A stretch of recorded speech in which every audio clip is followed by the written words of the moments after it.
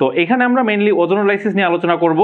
Ozonolysis বিষয়টা হইল যে তুমি ওজোনো গ্যাসের সাথে এলকিন অ্যালকাইন এবং বেঞ্জিনের বিক্রিয়া দিবা। তো তিনটা বিক্রিয়ার টেকনিকগুলো আমরা একটু লক্ষ্য করি ওকে প্রথমত এলকিনের সাথে ওজোনোলাইসিসের বিক্রিয়াটা কীভাবে হয় তা আমরা একটু লক্ষ্য করি। তুমি যে কোনো ধরনের একটা এলকিন এলকিন মানে কি? দ্বিবন্ধন কার্বন থাকবে। কার্বনের মাঝখানে দ্বিবন্ধন থাকবে। দ্বিবন্ধনযুক্ত যে কোনো একটা যৌগের সাথে তুমি যদি ওজন গ্যাসের বিক্রিয়া দাও এবং একটু মনোযোগ সহকারে লক্ষ্য রাখবা এলকিনের সাথে অবশ্যই জিঙ্ক এবং পানি এই দুইটার উপস্থিতি দিতে হবে। তুমি যদি জিঙ্ক এবং পানির মধ্যে যে কোনো একটা না দাও, তাহলে কিন্তু এই বিক্রিয়াটা সম্ভব হবে না। আগে বলে নিচ্ছি। সো এটা ম্যান্ডাটরি এরপরে দ্বিতীয় কাজ হইল, তুমি জাস্ট মনে মনে পেন্সিল দিয়া, এই যে দ্বিবন্ধন আছে না, দ্বিবন্ধন বরাবর একটা ডট ডট লাইন টানে দিবা। এই দ্বিবন্ধন বরাবর ডট ডট লাইন টানে দেওয়ার পরে, যে কোনো, এই যে পাশাপাশি যে দ্বিবন্ধনযুক্ত যে কার্বন দুইটা আছে না, তুমি নাম্বারিং করে দাও। এটাকে ধরলা এক নাম্বার এটাকে ধরলা তুমি দুই নম্বর কার্বন এখন যদি মনে হয়, না ভাইয়া, আমি এটাকে এক ধরবো, এটাকে দুই ধরবো ধরো, কোনো আমার সমস্যা নাই, আমি জাস্ট তোমাকে ইন আইডেন্টিফাই করার জন্য এক দুই নাম্বারিং করে দিচ্ছি এটাতে তেমন কোনো আমারই কিছু নাই। এখন তুমি লক্ষ্য করে দেখি যে দ্বিবন্ধনযুক্ত যেই কার্বন দুইটা আছে, এক নাম্বার এবং দুই নম্বর কার্বন দ্বয় এদের সাথে সরাসরি হাইড্রোজেন যুক্ত আছে কিনা?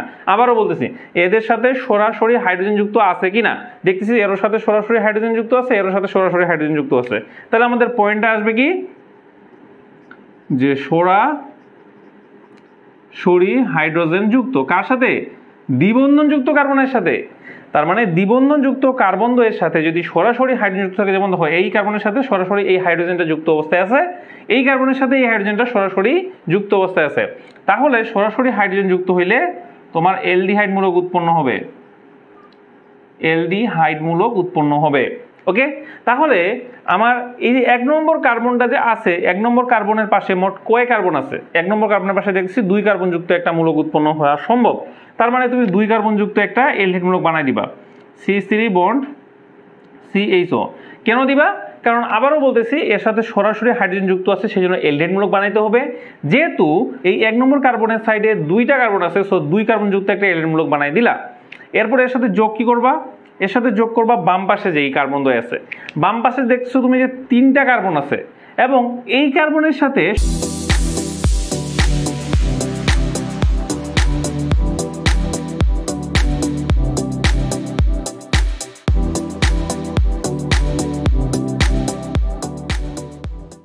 সরাসরি হাইড্রোজেন যুক্ত আছে? তাহলে সরাসরি হাইড্রোজেন যুক্ত থাকলে কি করবা তুমি? এলডিহাইড মূলক উৎপন্ন করবা। তাহলে তিন কার্বন যুক্ত তুমি এলডিহাইড মূলক উৎপন্ন করলা। C three bond C H two bond C H O okay তাহলে তোমার এই উৎপন্নটা শেষ। অনেক ইজি কিন্তু, ঠিক আছে? ভয় পাওয়ার কোনো কারণ নেই। এরপরে আসো পরের ধাপে। আমাদের যদি সরাসরি হাইড্রোজেন যুক্ত না থাকে, তাহলে কি করব? আমাদের দুই নম্বর টেকনিকটা হবে যে দ্বিবন্ধনযুক্ত যে কার্বনটা এই যে দেখো, দ্বিবন্ধন না? দ্বিবন্ধন থাকা মানে তোমাকে কি, পানি এবং জিঙ্ক অবশ্যই দিতে হবে। তাহলে দ্বিবন্ধন বরাবর বলছে একটা পার্টিশন ক্রিয়েট করে নিবা মনে মনে। এটা কিন্তু মনে মনে করবে, এটা আবার পরীক্ষা, এটা আবার পরীক্ষার খাতায় গিয়া করিও না। ঠিক আছে? স্যার একদম কাটা দিয়ে দিবে, ঠিক আছে? সো এই যে পার্টিশন করলা পার্টিশন করার পর ডান পাশে যে কার্বন দয়, সেই কার্বনের সাথে সরাসরি হাইড্রোজেন যুক্ত আছে কিনা লক্ষ্য করো। দেখতেছি ভাইয়া, এই যে দ্বিবন্ধনযুক্ত যে কার্বন দয় আমার আছে, ধরলাম যে এটা এক নম্বর কার্বন এটা ধরলাম দুই নম্বর কার্বন তো এক নম্বর কার্বনের সাথে সরাসরি হাইড্রোজেন যুক্ত নাই, তাই না? দেখো দেখি সরাসরি হাইড্রোজেন যুক্ত আছে? নাই। বাট এই দুই নম্বর কার্বনের সাথে একটা হাইড্রোজেন সরাসরি যুক্ত আছে, এই কার্বনের সাথে। সেই জন্য এই দিকের পোর্শনটাতে উৎপন্ন হবে এলডিহাইড বাট এই দিকের পোর্শনটাতে উৎপন্ন হবে কিটোন তাহলে আমাদের দুই নম্বর পয়েন্ট হবে সরাসরি হাইড্রোজেন যুক্ত না থাকলে কি উৎপন্ন হবে? কিটোন ওকে তাহলে তুমি লক্ষ্য করো দেখি, এখানে তার এই সিএস থ্রি বা মিথাইলমূলক যে দুইটা দিছি ব্র্যাকেট দিয়া, এর মানে কি বোঝাচ্ছে?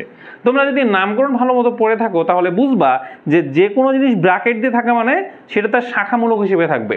তার মানে এই যে মিথাইলমূলকটা ব্র্যাকেট ক্লোজ করা আছে, তার মানে এই মিথাইলমূলকটা এই এক নম্বর কার্বনের সাথে শাখামূলক আকারে আছে। এবং কয়টা শাখা আছে? দুইটা শাখা আছে। তার মানে এই সিএস থ্রিটা এর সাথে শাখামূলক আকারে কাজ করতেছে এবং এই কার্বনের সাথে কোনো রকম হাইড্রোজেন সরাসরি যুক্ত নাই। দ্যাটস ওয়াই আমার এক নম্বর কার্বনের সাইডে তিনটা কার্বন আছে। দেখো, এখানে দুইটা কার্বন, এখানে একটা কার্বন। এই তিন কার্বন যুক্ত একটা কিটোনিক মূলক উৎপন্ন হবে। ভালো মতো শুনো। যেহেতু আমার ডান সাইডের কার্বন মানে এক নম্বর কার্বনে কোনো সরাসরি হাইড্রোজেন যুক্ত নাই, তাহলে দুই নম্বর টেকনিক অনুযায়ী আমার কিটোনিক মূলক উৎপন্ন হবে এবং সেটা কয় কার্বন যুক্ত কিটোনিক মূলক কিটোনিক মূলক তো শুরু হয় তিন কার্বন থেকে চার, পাঁচ, ছয়, সাত দিয়ে ইনফিনিটি পর্যন্ত চলে যেতে পারে।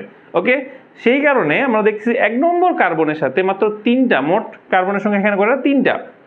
তাহলে তিন কার্বনযুক্ত একটা কিরণিক মূলক উৎপন্ন হবে। তিন কার্বনযুক্ত কিরণিক মূলক হলো propanone CS three CO bond CS three okay এরপরে এর সাথে কি যুক্ত করবা? এরপরে এর সাথে যোগ করবা। এই দুই নম্বর কার্বনের সাথে কয়টা কার্বন আছে তার? দেখতেছি দুই নম্বর কার্বনের সাথে আমার এক, দুই, মোট তিনটা কার্বন আছে। তাহলে তিন কার্বনযুক্ত আমরা উৎপন্ন করে দিলাম যৌগ। C three C H two bond C H O এই তো, কারণ কি? এটা এলিট বানালাম কেন ভাইয়া? কারণ এই দুই নম্বর কার্বনের সাথে লক্ষ্য করো যে সরাসরি একটা হাইড্রোজেন যুক্ত আমার আছে। তো এই তো গেল তোমার এলকিনের ওজন রেসিসের টেকনিক বাট অবশ্যই লক্ষ্য রাখবা জিঙ্ক এবং পানি যেন তোমাকে দিতে, দেওয়া দিতেই লাগবে। এরপর আসে অ্যালকাইনের ওজন রেসিস অ্যালকাইনের ওজন রেসিস খুবই সোজা এলকিনের থেকেও সোজা। অ্যালকাইনের ওজন রেসিসে এস ইউজুয়াল এই যে তিন বন্ধন আছে না, তিন বন্ধন বরাবর একটা পার্টিশন ক্রিয়েট করবা মনে মনে। তারপরে দেখবা এটাকে এক নম্বর দিলা মনে মনে, এটাকে দুই নম্বর দিলা, এটাও মনে মনে। দেখবা এক নম্বর কার্বনের পাশে কয়টা কার্বন আছে? দেখছি এক নম্বর কার্বনের সাইডে মাত্র দুই কার্বন আছে। তাহলে ওজন গ্যাস দিবা, পানি দিবা, এখানে কিন্তু জিঙ্ক দিবা না। স্পষ্টভাবে লিখে দিছি যে তুমি জিঙ্ক দিবা না। কখন? অ্যালকাইনের ওজোনোলাইসিসে অ্যালকাইনের ওজোনোলাইসিসে শুধুমাত্র পানি দিবা। ঠিক আছে? তাহলে পানি যদি দাও, তাহলে ডান পাশের পোর্শনে মানে এক নম্বর কার্বনের পোর্শনে মোট দুইটা কার্বন আছে, তাহলে দুই কার্বন যুক্ত একটা অ্যাসিড বানাবা। এটার টেকনিক হলো কি? জাস্ট অ্যাসিড বানাই দিবা। সিএস থ্রি সি ডবল তবে শর্ত কি? অবশ্যই পানি থাকতে হবে। যদি পানির সাথে জিঙ্ক থাকে, তাহলে কিন্তু সে আর অ্যাসিড উৎপন্ন হবে না। তখন এলডিহাইড জাতীয় মূলক উৎপন্ন হবে। ঠিক আছে? তাহলে কিন্তু এলডিহাইড জাতীয় মূলক উৎপন্ন হবে এবং সেই এলডিহাইড জাতীয় মূলকটা যুক্ত অবস্থা থাকবে। ভাঙে ভাঙে যাবে না। মানে এই পার্টিশন বরাবর এই পাশে একটা, এই পাশে একটা ভাঙবে না। ঠিক আছে? যদি শুধু জিঙ্কের সাথে পানি থাকতো, তাহলে এই পাশে একটা সিএইচও এই পাশে একটা সিএইচও এরকম করে বের হয়ে যেত সো এটা একটু জটিল টাইপের ওইটাতে আমরা না যাই, কারণ ওখানে ওইটা দিয়ে তোমার তেমন একটা প্রশ্ন আসেও না। মেনলি যেটা ইম্পর্টেন্ট টপিক যেখানে পানি দিবা, জিঙ্ক দিবা না। যদি না দাও জিঙ্ক, তাহলে তোমার এই পোর্শন ভাঙবে, এই পোর্শন ভাঙবে। এক নম্বর পোর্শন ভাঙলে দুই কার্বন যুক্ত একটা অ্যাসিড উৎপন্ন হবে। আর দুই নম্বর পোর্শন যদি ভেঙে যায়, তাহলে তিন কার্বন যুক্ত একটা অ্যাসিড উৎপন্ন হবে। তাহলে প্লাস দিলা C CS three bond CH two bond C double H এই তো তিন কার্বনযুক্ত অ্যাসিড উৎপন্ন হয়ে গেল। তাহলে এই গেল তোমার অ্যালকাইনিন ওজোনোলাইসিস। এরপরে আসো বেঞ্জিনের ওজোনোলাইসিস। বেঞ্জিনের ওজোনোলাইসিসে তেমন কোনো স্পেশাল টেকনিক নাই জাস্ট মুখস্থ করে নিতে হয় যে বেঞ্জিনের সাথে তুমি যদি তিন অণু ওজন গ্যাসের বিক্রিয়া দাও কার্বন টেট্রাক্লোরাইড প্রভাবকের উপস্থিতিতে তাহলে উৎপন্ন হবে C six H six, O nine. এটাকে বলা হয় ট্রাই ওজোনাইট যৌগ। আবার বলছি কি নাম? এটার নাম ট্রাই ওজোনাইট যৌগ। এই ট্রাই ওজোনাইট যৌগকে যদি তুমি জিঙ্কের উপস্থিতিতে আর্দ্র বিশ্লেষণ করো, জিঙ্ক এবং পানি দাও, তাহলে উৎপন্ন হবে গ্লাই অক্সাল মানে সিএইচও সিএইচও গ্লাই অক্সাল জাতীয় যৌগ এবং তার সাথে জিঙ্ক অক্সাইড এবং তার সাথে একটা এইচ টু ও টু। এরপর আসি আরেকটা প্রশ্নে। প্রশ্নটা উল্টাভাবে আসতে পারে। কীরকম? বলল যে ওজোনোলাইসিস বিক্রিয়ায় উৎপাদ যদি CH three CH two CHO that means তোমার প্রপার নেল এবং CS three CS two CO CS two, C O CS three. যদি একটা কিরণিকমূলক উৎপন্ন হয়, তাহলে বিক্রিয়ক কোনটি? দ্যাট মিনস একটা উৎপাদ দুইটা তোমাকে দিয়ে দিছে ওজোনাইসিস বিক্রিয়ার মাধ্যমে এবং তোমার উৎপাদ দুইটা যে উৎপন্ন হয়েছে, এখন তোমার বিক্রিয়ক কি তা চাইছে? এখন আমরা উৎপাদের দিকে তাকায় দেখতেছি, ভাই, একটা সিএইচও একটা সিও দ্যাট মিনস এটা কি? এই যে, এলকিনের ওজোনোলাইসিস এলকিনের ওজোনোলাইসিসে হয় এলডিহাইড অথবা কিটোন উৎপন্ন হবে। যেহেতু এখানে কিটোন এবং এলডিহাইড দুইটাই উৎপন্ন হয়েছে, তাই এটা আমার কি? আমার এলকিনের ওজোনোলাইসিস তাহলে উৎপন্ন যৌগটা অবশ্যই এলকিন হবে। এখন কোন ধরনের এলকিন হবে? তাহলে তুমি প্রথমত কাজ করবা, দেখো একটু টেকনিকটা লক্ষ্য করো হ্যাঁ? একটু মনোযোগ দিয়ে দেখো। প্রথমত দিবা যে, ভাইয়া, দুইটা কার্বন আমার পরস- পরস্পর দ্বিবন্ধন আকারে থাকবে। এটা আমার প্রথম শর্ত। দ্বিতীয় শর্ত হইল, এই যে এলডিহাইডটা আমার আছে, তার মানে একটা সরাসরি হাইড্রোজেন যুক্ত থাকবে। তার মানে এই কার্বনের সাথে দিলাম আমরা সরাসরি হাইড্রোজেন যুক্ত করে। যার সাথে সরাসরি হাইড্রোজেন যুক্ত করছ, সেই পাশটাতে কত কার্বন থাকতে হবে? এলডিহাইডের কার্বন যত তত।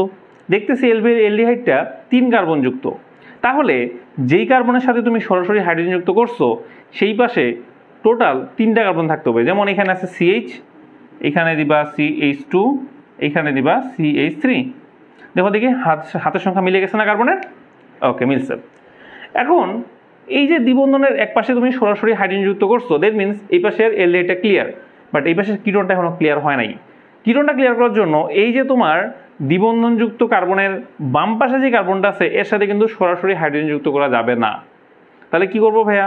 তাহলে শাখা শিকল বের করো। একটা শাখা দিলা তুমি ধরো এদিকে আরেকটা শাখা দিলা তুমি মনে করো এদিকে। তো এই পাশে দেখো যে সি ও যে উৎপন্ন হয়েছে সিও এর বামে আছে দুই কার্বন যুক্ত, এই পাশে আছে দুই কার্বন যুক্ত। তাহলে তুমি এখানে বানাও C H three bond C H two তাহলে দুই কার্বন যুক্ত একটা শাখা শিকল উৎপন্ন হইল। ঠিক সেমভাবে এইদিকে বানাবা দুই কার্বন যুক্ত একটা শাখা শিকল C H three bond C H two তাহলে উভয় পাশে এই কার্বনের দেখো যে দুইটা শাখাতে CS two CS two CS two CS three উৎপন্ন হয়ে গেছে। দ্যাট মিনস এই কার্বনের সাথে সরাসরি হাইড্রোজেন যুক্ত নাই। সে কারণে এই কার্বনে কিটোনিক মূলক উৎপন্ন হবে। এখন তুমি যদি বলো, না ভাই, আমি শুধু এখানে সিএস থ্রি দিব আর এখানে CS two CS two CS three দিব। হবে না কিন্তু। কারণ তোমাকে এই জায়গাটা ভাঙে এখানে একটা অক্সিজেন মূলক ঢুকবে। তাহলে লক্ষ্য করতে হবে, এই যে দ্বিবন্ধনের সাথে যে সরাসরি কার্বনটা যুক্ত আছে, সেই সরাসরি কার্বনের সাথে যদি অক্সিজেন মূলকটা যুক্ত হয়, তাহলে তার বাম পাশে কয়টা কার্বন মূলক আছে এবং ডান পাশে কয়টা কার্বন মূলকের সাথে অ্যালকাইল মানে কার্বন যুক্ত অ্যালকাইল মূলক আছে। ঠিক আছে? আমরা দেখছি যে বামে দুই কার্বন যুক্ত অ্যালকাইল মূলক ডানে দুই কার্বন যুক্ত অ্যালকাইল মূলক যদি তোমার প্রশ্নটা এরকম হইতো যে CS two bond CS three এরকম যদি হইতো, তাহলে যে কোনো একটা পাশে তুমি ধরো কার্বন সংখ্যা বাড়াই দিলা। কিন্তু আরেক পাশে কার্বন সংখ্যা কিন্তু ঠিকই রাখতে হবে। বুঝে গেছে বিষয়টা? সো ওভারঅল এই গেল তোমার ওজোনোলাইসিস সম্পর্কে।